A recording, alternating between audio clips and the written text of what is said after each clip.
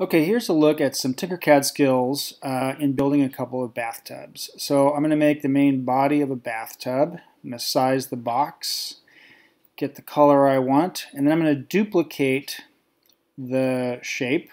I'm going to drag it up to make the copy taller. Then I'm going to hold shift as I shrink that copy back down.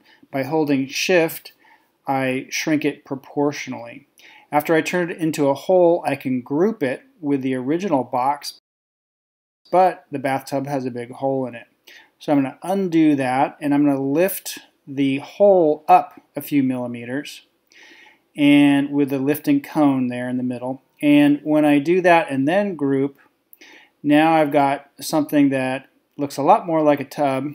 Um, I've got a box there but I think we can do a little better. That would not be a very comfortable bathtub. So I'm going to actually slide the radius uh, slider a bit and to round off the corners of the hole and then lift it up a bit, stretch it up. And then when I group it, I have a more comfortable bathtub. I'm going to make a second bathtub now. And this one I'm going to adjust the radius uh, to begin with to round it off. Then again, I'm going to duplicate. I'm going to lift up with the cone, turn the duplicate into a hole, and shift shrink it a little bit. Next, I want to make kind of a, a lip for this bathtub. So I'm going to size uh, this box based on the dimensions of the tub. I'm going to make it a little bit bigger in um, in the length and the width. And I'm going to lift it up so it is even with the top. And then I'm going to use the Align tool. I'm going to, I'm going to select all the shapes, click Align, and then I'm going to click the middle dots. And uh, that's going to align it in the uh, X and Y axes. Now when I group, I'm going to make this one object and it's going to cut through everything and create something that looks a lot more like a bathtub. I'm going to lift it up and I want to put this bathtub on feet. Keep in mind that the two numbers when you lift up something indicate how far you've lifted it that time and then it's also its height from the work plane.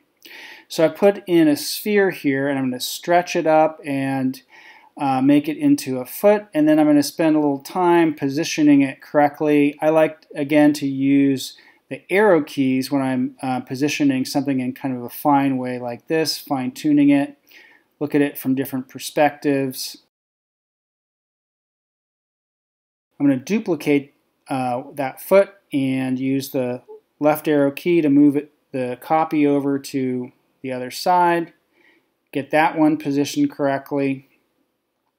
And when I have that correct, I'm going to duplicate the two feet and I want to slide them over to the other side. So I'm going to go to the snap grid and adjust it to 5 millimeter increments uh, so I can quickly move it over. And then I'll fine tune with 0.25 millimeter increments to get those feet in the right spot.